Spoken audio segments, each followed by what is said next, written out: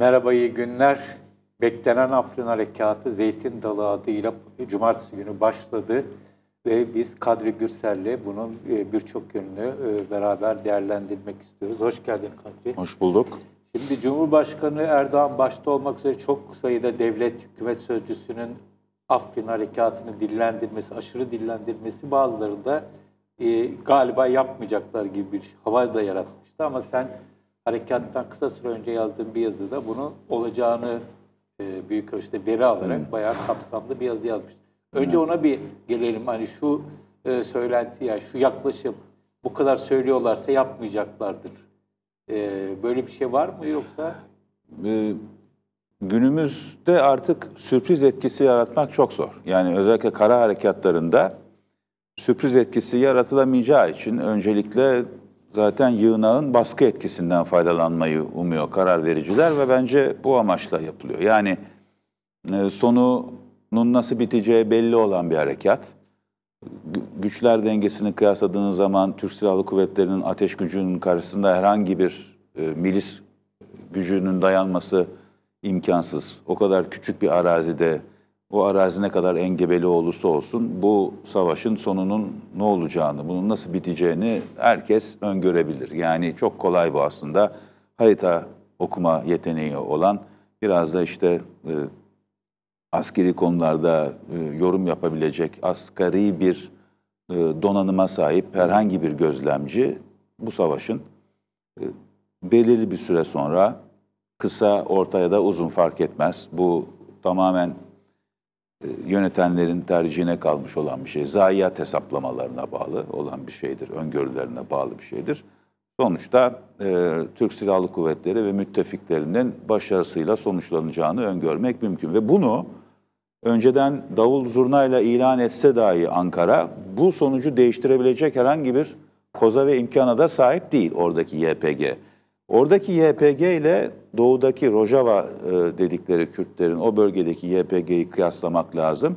Afrin'deki YP, YPG askeri olarak en zayıf YPG. Yani Amerikalıların harekattan dört gün önce Anadolu Ajansı'na Pentagon Sözcüsü'nün yaptığı yazılı açıklamada biz onlarla ilgilenmiyoruz, onlara yardım etmiyoruz ve onlarla herhangi ilişkimiz de olmadı dediği YPG bu aslında aynı örgüt fakat iki farklı realiteye tabi. Nedir bu realiteler? Bir tanesi Rus realitesi ve jeopolitiği, ötekisi Amerikan realitesi ve jeopolitiği. Yani Afrin'dekiler Rusya ile ilişki içerisindeyken Rusya, diğer, e, Rusya e, ve rejim coğrafyaları bunu emrediyordu. Çünkü arada kara, karasal bağlantı yoktu.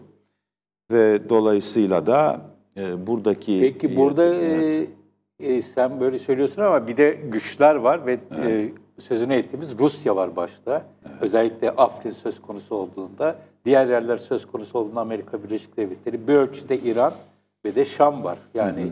ama esas olarak iki önemli gücü Türkiye dikkate almak zorunda. Bugün Cumhurbaşkanı'nın yaptığı konuşmada söylediği e, Rusya ile mutabakata vardık. Amerika Birleşik Devletleri'ni hiçbir konuda ikna edemedik diye hı hı. çok net bir şey söyledi. Hı Dolayısıyla bu aslında yaşanan olay aynı zamanda Suriye üzerindeki bir Amerikan, e, ABD ve Rusya e, nüfus savaşının da bir yansıması herhalde değil mi? Bence bu nüfus e, savaşı, nüfus çekişmesi, rekabeti nasıl dersek diyelim. Yani savaş biraz tabii e, aşırı sert Mücadele bir söz. Ama bence bu bu çoktan beri sonuçlanmış olan bir şey. Taraflar bunu kabullendiler ve kendi e, paylaşım alanlarında şu an tahkimat yapıyorlar. Yani bugün e, Afrin'de olan şey de tam olarak da bu zaten. E, bir oyun kuruldu Suriye'nin doğusunda yani Fırat'ın batısında. Bu oyunun kurucusu Rusya'dır. Bu oyunun içine dış unsur olarak, yabancı güç olarak İran'ı ve Türkiye'yi de aldı. E, fakat oyunun kurucusu hala kendisi ve de bana göre, benim öngörüme göre en yakın senaryo, gerçekleşmesi en yakın senaryo yine e, Fırat Kalkanı Harekatı'nda olduğu gibi e, Ver Halep'i al babı diye özetlenebilecek özetlenebilecek bir e, senaryo çizmiştim ben harekattan önce. Burada da burada da yine işte ver İdlib'i, al Afrin'i gibi bir senaryo benim İdlib'i- kafamda. En muhtemel İdlib'deki senaryo. Türkiye'nin desteklediği güçlerden desteğini Şimdi çekmesi. İdlib'in İdlib İdlib'de sadece tabii Türkiye'nin desteklediği güçler yok. Ee, Orada heyet Heyetü Tahrir Şam var. Yani eski El Nusra ve yani aslında El Kaide türevi olan e, şey var. Bütün bunların isimlerini tek tek saymaya gerek yok. Zaten bu konuda o kadar derinlemesine uzmanlığa da bence gerek yok. Uzmanları takip etmek yeterli. Çünkü bunlar sürekli yeni isimler alıyorlar, ittifaklar kuruyorlar, onlara bir isim buluyorlar, sonra onlar dağılıyor, başkaları birbirlerini tekfir ediyorlar ama tekrar birbirlerine katılıyorlar. Tuhaf bir e, şey, kaleidoskop gibi bu, bu alan. İzlemesi çok kolay bir alan değil. Yani bütün işi gücü bırakıp bunu izlemek lazım. Bunu yapanlar var ama e, Türkiye'nin desteklediği Fay- Faylakül Şam, Ahrar Şam gibi gruplar var. Ama esas enteresan olan şu oldu. Suriye rejimi Rusya'nın ve müttefiklerinin desteğiyle ki bunların içinde İran'ın Afganistan'dan getirdiği milisler var mesela. Hizbullah var. İdlib'in doğusunda bir harekat başlattı. Ee, geçen Aralık'ta başlattı bunu ve de neredeyse İdlib'in bütün doğusunu ele geçirdi ve kuşa, geniş bir alanda e, heyet yani HTŞ diye kısaltayım ben onu. HTŞ ve şey IŞİD var. E, Küçük bir anklav diyebileceğimiz bir bölge. Daha da güneyde kalıyor. Onları kuşattı ve e, Ha- Halep'e e, olan yolu da çeşitlendirdi yani. Çünkü Halep'e erişimi çok böyle dolan başlı işte Güneydoğu'ya e, dönüp oradan kuzeye sapan bir e, yol üzerinden gidiyordu. Şimdi kestirmeden doğrudan ulaşımını sağlıyor ve e, bence e, bundan sonrası rejim açısından daha kolay. Çünkü batıda özellikle e, çatışma alanı dışında bırakılan HTŞ unsurlarının hakim olduğu bölgeler var. Bunlar da Türkiye sınırına yakın, Türkiye sınırının aslında Hatay bölgesinin, Türkiye-Suriye sınırının büyük bölümü bunların kontrol altında. Şimdi böyle bir durumda bu hamlenin karşılığında tabii ki Türkiye önceleri rahatsızlığını defaatle ifade etti. Ee, ve ardından da artık herhalde zamanının geldiğini e, düşünmüş o- olacaklar ki bu operasyon için e, harekete geçildi ki Peki, zaten sonuçta- uzun zamandır bu bu operasyonun olacağı söyleniyordu. Bu uyarılar sürekli yapılıyordu başından beri. Ama ben e, bir şey daha söyleyeyim. Tek faktöre bağlamıyorum. Yani Afrin operasyonunun bir faktörle açıklanabilmesi mümkün değil. Bunun e, yani iç e, siyasi takvimle Bir de kere alakası şöyle var. bir husus var. Ee, İdlib'deki denklemle de alakası var. Yani Suriye'nin Şimdi kuzeyinde bir, e, Astana süreci içinde konuşulan hususlar. Haaretz'te İsrail gazetesinde bir e, yoruma e, baktım da İngiltere'de yaşayan bir Türkiye araştırmacısı şey diye söylüyor. E, Türkiye'nin proxy savaşı Amerika Birleşik Devletleri'ne Afrin operasyonu. Proxy nasıl deniriz? Vekalet. Vekalet savaşı başlattı. Amerika'ya e, Trump Amerika'sına açılmış ilk savaş diyor. Bu Ben çok abartı. abartılı bir yorum olarak bunu görüyorum. Bu sansasyonel bir yorum bence. E, spekülatif olmaktan da uzak. Yani sansasyonel, sansasyon peşinde olan bir yorum. Çünkü daha önce de dediğimiz gibi Afrin'deki YPG'nin jeopolitiği farklı. Aynı aynı örgüt olabilir fakat farklı re- realitelere Ama orada şöyle tabiler. bir husus var. Şimdi bir şey de eklememe izin ver orada. Yalnız bu hadise Afrin operasyonu eğer Amerikan medyası e, tarafından böyle kullanılmak istenirse kullanılır ve gösterilir ki nitekim de gösterildi. New York Times'ın bir internet yani web sitesindeki operasyonun başlangıcını ilan eden haberlerden birinde şu ifade kullanıldı aynen. 72 Türk savaş uçağı ABD'nin müttefiki olan Kürt milisleri bombaladı. Bu yanlış bir başlık. Ama e, e, göz, yani bu şekilde gösterdiğiniz zaman ne oluyor? Nasıl algılanıyor? Nasıl bir algı oluşuyor dünyada? E, o milisler ki, o milisler ki, Kürt milisler IŞİD'e- IŞİD'e karşı savaştılar. Kobani'de IŞİD'e karşı direndiler. e, Fırat'ın bütün doğusunu IŞİD'den temizleyip IŞİD'i IŞİD'in e, Suriye'deki teritoryal varlığını paramparça ettiler ve ve bakın işte Türkiye bu bu unsurları bombalıyor. Şimdi ama gerçek bu değil. Çünkü Türk savaş uçaklarının bombaladığı unsurlar onlar değil. Yani Afrin Aynı grubun başka lokalize, parçası. çok lokalize, çok e, izole bir Ama orada şöyle yani bir şey var. Afrin Afrin'de Afrin'de bak Afrin'deki YPG IŞİD'le Tel Rıfat'ı almak ve Minik havaalanını almak için savaştı.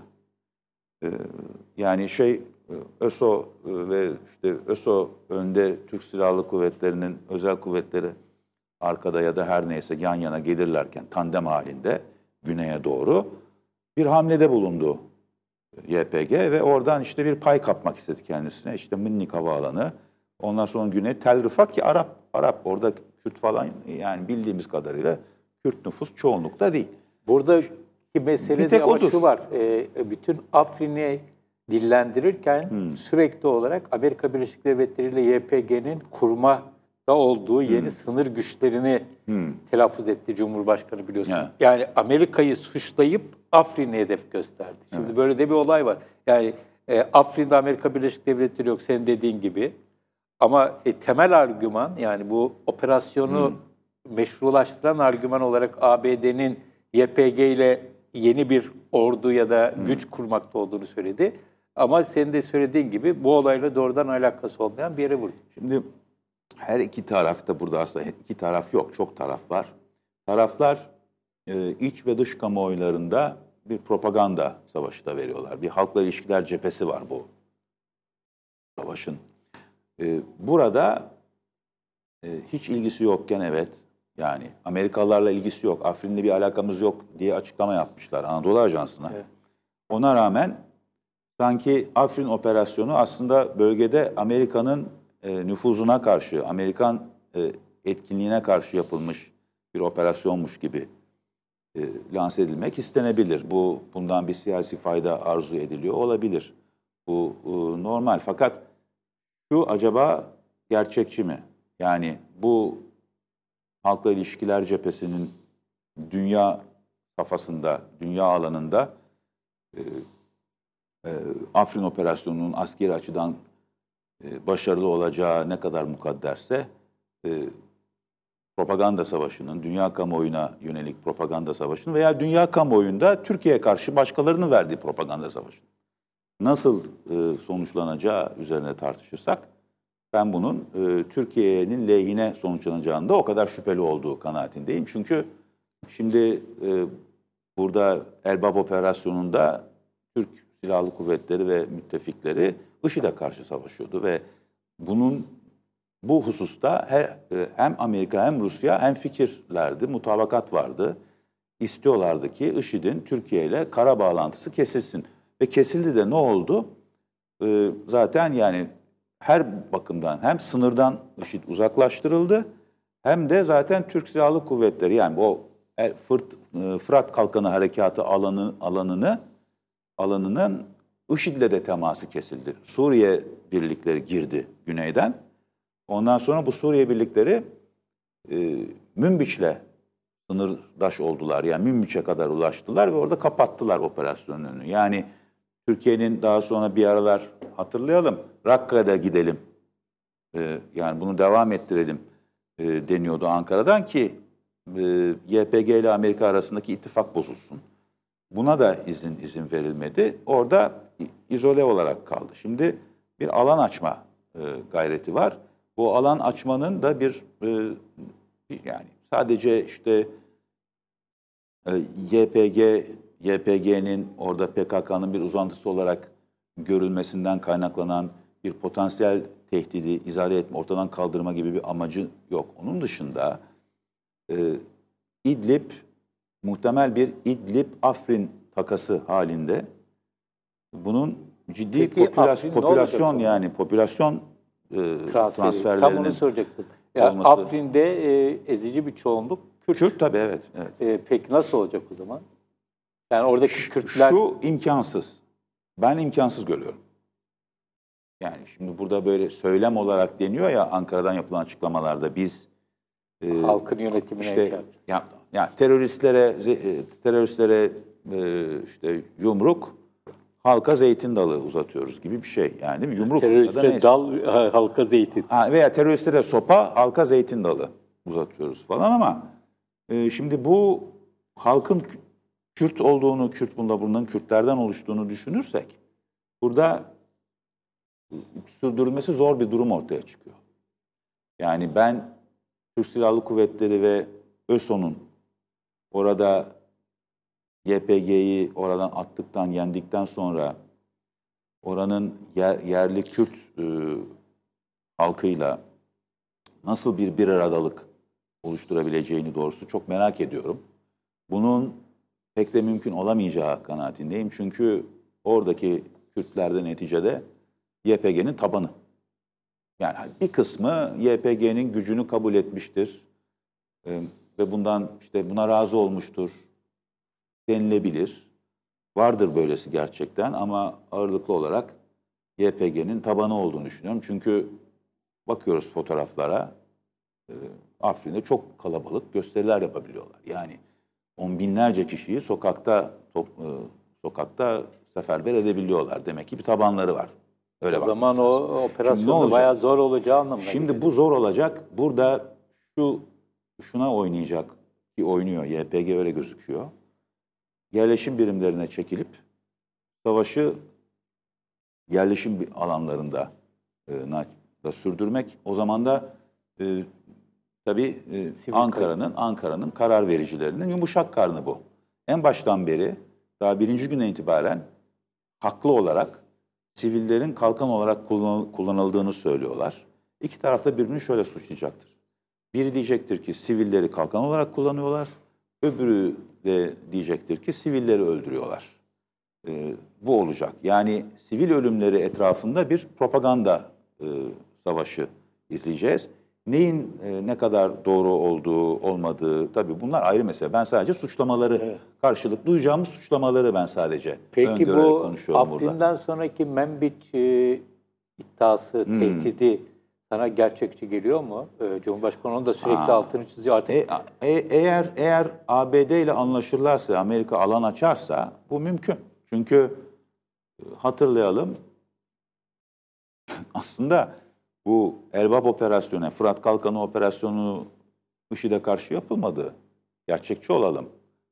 E, YPG'nin Fırat'ın batısına geçmesine karşı yapıldı. Yani operasyonu tetikleyen gelişme o oldu. o koridoru kesmek. Tabii. Yani bu oldu. IŞİD, e, IŞİD'e karşı evet IŞİD'le savaşıldı ağırlıklı olarak. Harekatın ilk günlerinde YPG güçleri e, hatırlayalım kuzeye doğru bir ondan önce bir hamle yapar gibi oldular. Harekat başlamadan önce Cerablus'a yaklaşmaktaydılar. Zaten o da tetikledi. Ben ben Türkiye'ye yönelik bir provokasyon olduğunu düşünüyorum.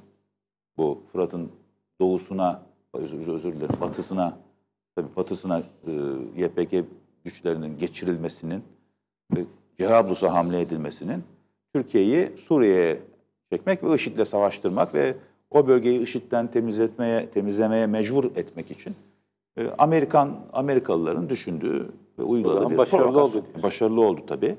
Ve buna Amerikalılar yol açtı. Fakat Türkiye bu harekatı Rusya'yla e, anlaşarak yaptı. Ve bunu yaparak da Rusya'nın oyun kurduğu oyunun parametreleri içine girdi. Hala onun içindeydi. Astana süreci içinde de öyleydi. Şimdi bu sefer güç unsurlarıyla Türkiye yeni bir oyun burada kurmak istiyor. Çünkü bu oyun yani aleyhine dönüyor. Şöyle bir durum çıkıyor ortaya. Eğer İdlib'de böyle gider ve rejim kazanırsa yüz binlerce yani rejimin altında yaşama, yaşayamayacak olan yüz binlerce Sünni Arap nereye koyacaksınız bu insanları? Zaten 4 milyona yakın e, mülteci var Türkiye'de. Bunlara bir yer açmanız lazım. Bunların Türkiye üzerinden geçip e, Elbap operasyon alanına yani Fırat Kalkanı alanına Elbap, Cerablus, e, Azez üçgeni diyelim biz ona. Oraya nakledilmeleri yerine Afrin'den direkt geçirilmeleri, yani Türkiye hiç sokulmadan oraya e, konulmaları ya da Afrin'e yerleşmeleri bilemiyorum artık. Ama Afrin büyük ölçüde yıkılacak galiba bu savaşın sonunda. Yani önümüzdeki birkaç ay, bir ay ya da daha çok bir süre bilemiyoruz tabii. Operasyonun bir parantez açayım. Operasyonun süresini tayin edecek olan Ankara'dır. Ee, ne kadar zayiata tahammülü varsa eğer çok zayiata tahammülü varsa hızlı halleder. Az zayiat e, göze alabiliyor yani. Daha fazla zayiat çok nedir onu bilemiyorum ölçü. Ama zayiatı minimumda tutmak istiyorsa uzun sürecek bir hareket olacaktır bu. Öyle gözüküyor. Peki bütün bu harekatın e, bu e, Afrin olayı e, Ankara'yı mecburen Şam'la tekrar bir temas kurmaya Elbette. e, Bu, sebep bu, bu, bu bir mecburiyet. Ee, Türkiye herhangi bir düz, alt düzeyde de yani ne, bir, bir, bir düzeyde Şam'la konuşmak zorunda. Çünkü Zaten başbakan söyledi konuştu. tabii e, konu- konuşmak zorunda.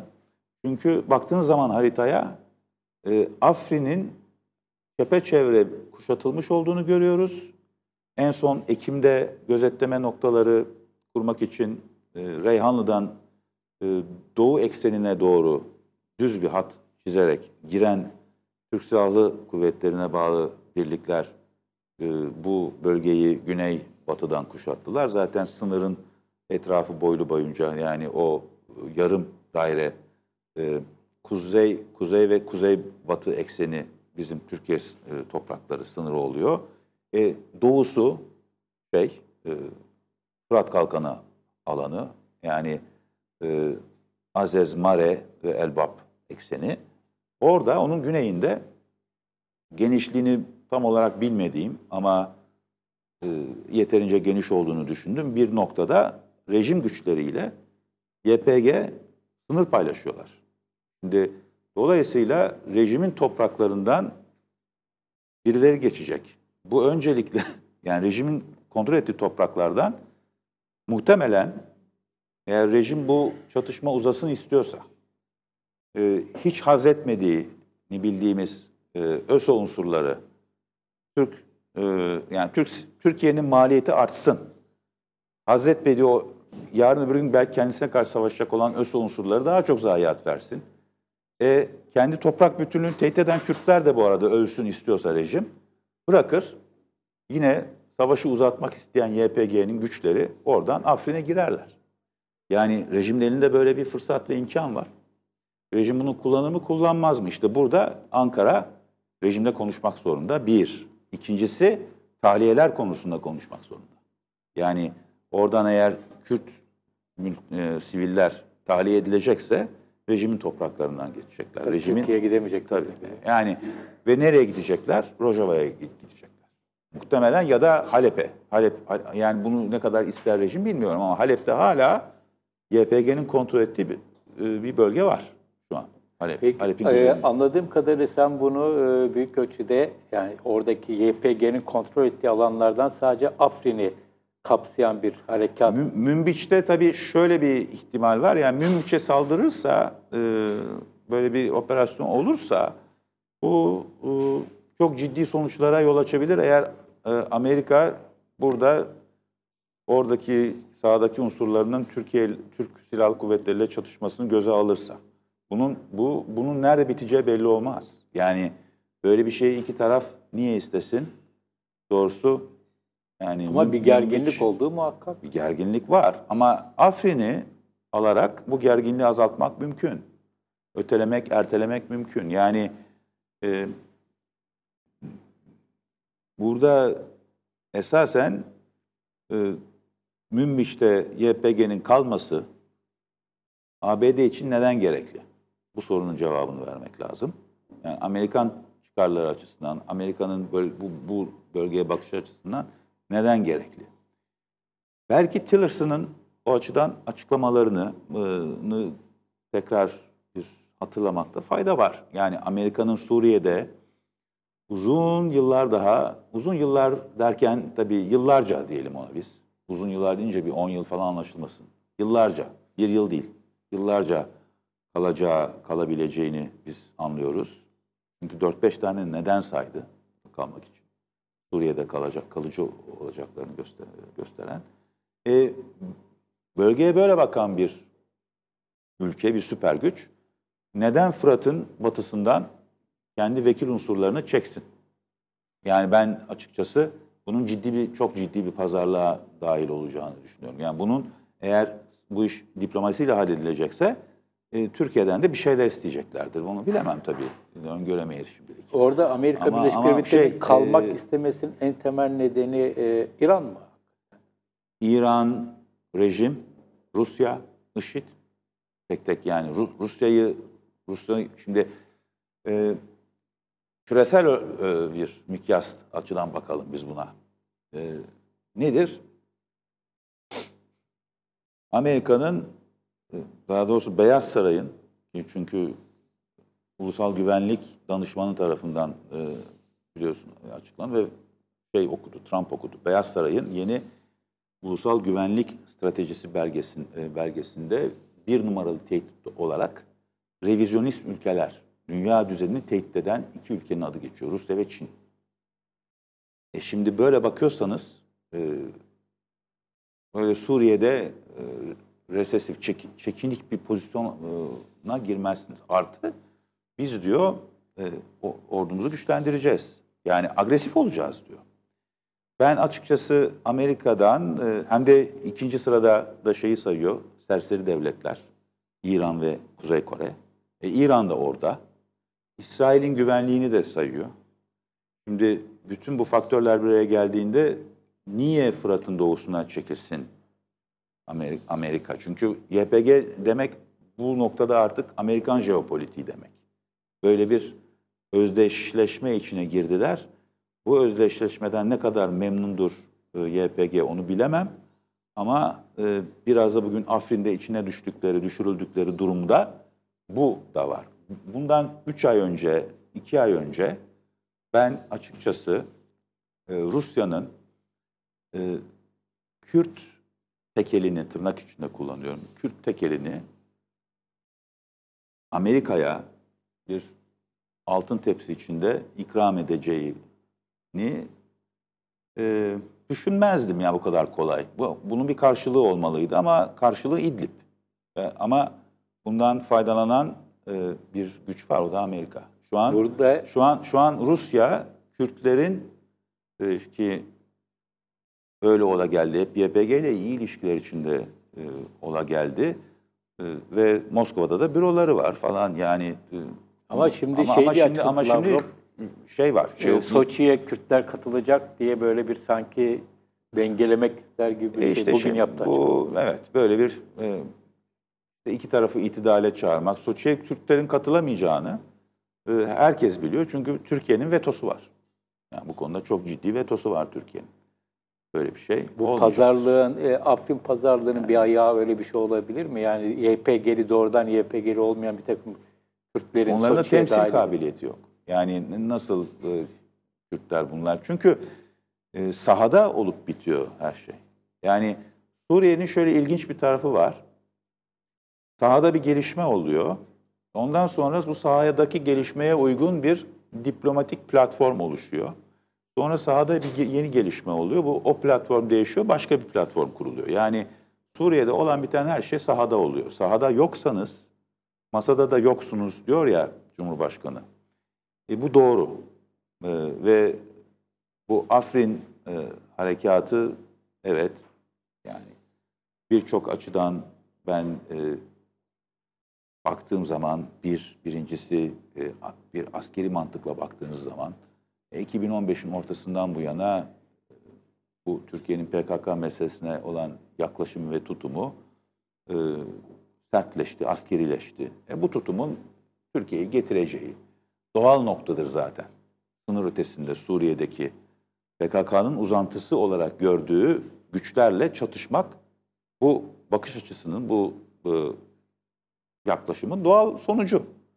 Uygun bir an kullanır, fırsat kullanır ve bu yapılır. Çünkü potansiyel tehdidin kuvveden fiile geçmesini Şimdi- bekleyemezsiniz. Ama şu var, tekrar eski konuya döneceğim. Dünya kamuoyunu ikna etmek de burada önemlidir. Çünkü e, burada e, bunun çok olmadık, beklenmedik geri dönüşleri olur. Nereden geleceği de belli olmaz. E, Afrin'den Türkiye'ye e, yakın ve büyük bir tehlikenin yöneldiğine dair e, Türkiye'nin dünya kamuoyunu ikna edebilmesi için elinde yeterli ma- gerekçe yok. Çünkü mesela hani Afrin'den bir saldırı düzenlense Türkiye'ye çok sayıda sivil ölmüş olsa maazallah.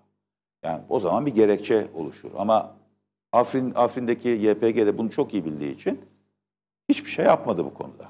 Yani Türkiye'yi tehdit eder bir pozisyon almadı. O yüzden e, bu açıdan zor bir durum. İyi burada e, toparlayalım. E, aslında çok boyutlu bir şey ama bu nasıl olsa gelişecek. Geliştikçe Daha çok değiş- erken. Evet, e, Daha değişik çok aşamalarında başındayız. yeni yönleriyle tabii bunun Türkiye'ye yansımaları olacak. Şu anda daha olayın başında ve çok ciddi bir şey var. E, her şeye izin vermeme, karşı Evet. çıkmaya vesaire izin vermeme Ya tabii var. serbest bir tartışma ortamı da yok. Evet, serbest Onu da- bir tartışma ortamı yok. E, daha ilk günden gözaltılar vesaireler başladı. Şu oldu, bu oldu. Evet, Kadri Gürsel'e çok teşekkür ediyoruz. Afrin Harekatı'nın e, birçok yönünü beraber ele aldık. Bizleri izlediğiniz için teşekkürler, iyi günler. İyi günler.